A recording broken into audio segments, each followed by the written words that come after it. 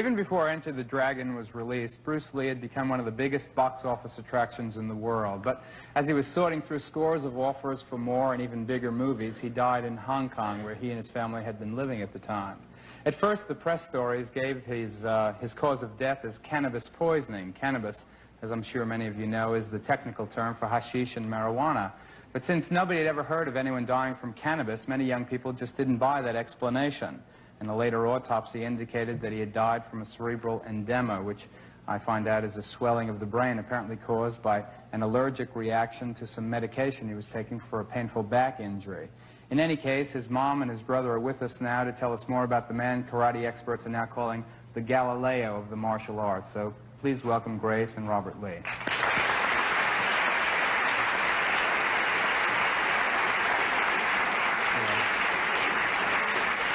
I, kn I know that Bruce was, uh, was born in the United States, but where was he raised? Where did he, He grow up? ra- raised in Hong Kong. Is that where he learned the martial arts, Kung yes, Fu? when he, yes, when he was 13 years old. How did he get started in the martial Um, arts?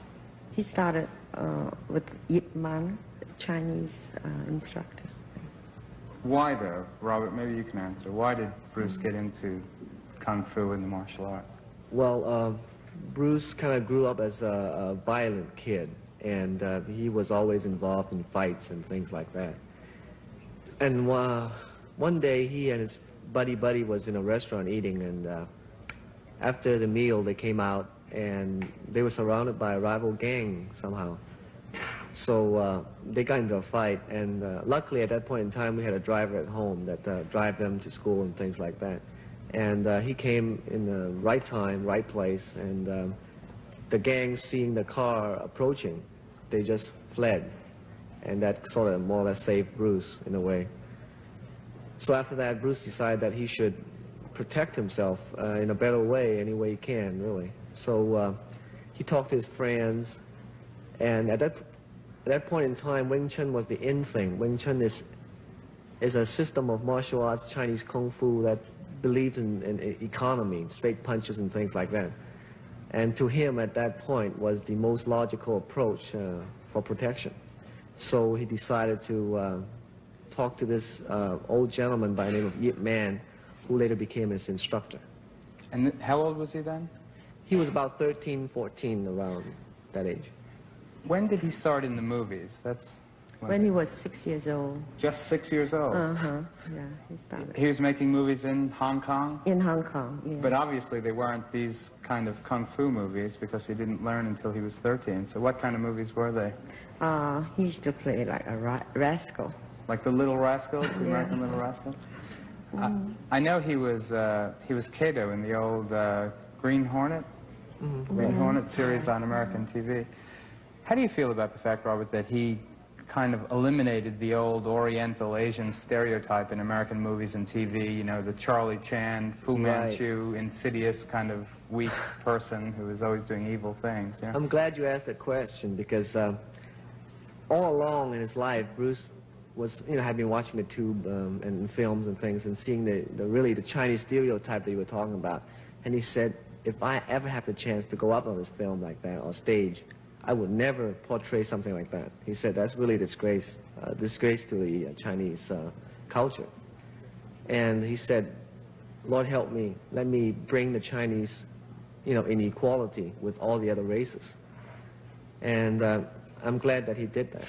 Why do you think he was so successful? Why do you think that um, he, he managed so, well, dramatically and eloquently to portray uh, Chinese people as, as something other than they had been portrayed, particularly by, uh, you know, American filmmakers in the past? Why? Why did he make it so big?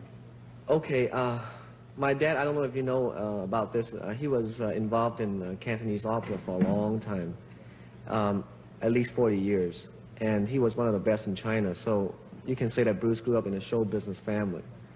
And that's one aspect. The other one is, the, uh, is that he has really a dynamic personality, and he can really project that personality in front of the screen or in front of people. And the third thing is that he is very sincere in what he's doing, you know. And um, that really is the most important aspect as far as I can see. Sometimes when you talk about Bruce, you use the present tense. I, know. still do. I always will.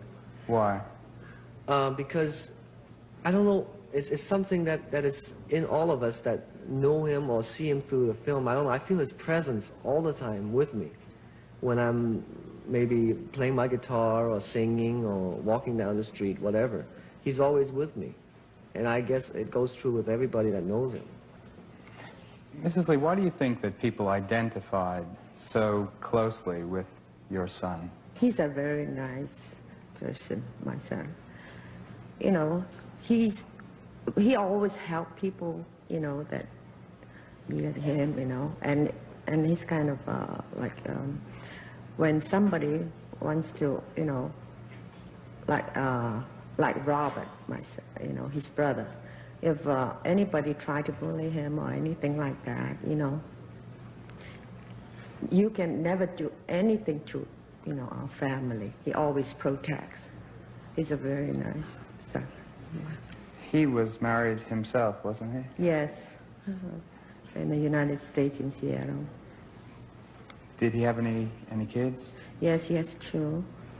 A son named Brandon and the daughter Shannon. Uh, is the son a martial artist? Oh yes, he can uh, kick an inch board when he's five years old. Really? You could Yes. shatter an Yeah, inch? he would. Bruce would hold it like that, you know, and he'd say, "Come on, Brandon, do something," you know. So Brandon will, "Okay, Daddy," you know. And Bruce said, "Come on, Yeah, do it with the killing instinct." And, you know, he would just run right to the sideboard. I mean, to the to the board and kick it with a side kick and just break it. Mm -hmm. I don't want to ask a hurtful question now, but are you satisfied with the official reasons given for your brother's death, Robert? Uh, yes and no. Um, I do. I have seen the autopsy report, and officially, he really did die of a, you know, edema of the brain, which you just stated. But knowing Hong Kong myself, with so many different people, all kinds of weird people, and um, especially Bruce's friends, you know, some of them, I really, it's just like a mystery to me too, in a way. Why did he assume such mythical proportions in life and even more so after death? Well, what he did on screen is something that uh, was new and is new and has nobody has yet done before. And um, he just played a true, sincere martial artist in film, and he really managed to project that image. And uh, I guess when the public saw that, it's just something that they ne- never seen before, and it's something that is really dynamite uh, and dynamic.